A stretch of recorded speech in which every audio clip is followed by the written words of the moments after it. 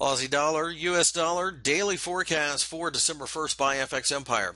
The Aussie uh, broke higher, as you can see, but really not significantly, and we're still well within the uh, trading range that we've been in.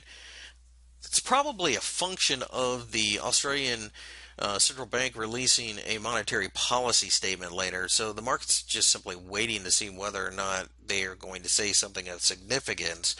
With this, it's probably best to leave this alone. But when you look at the longer term charts, we're still sellers on resistive candles above.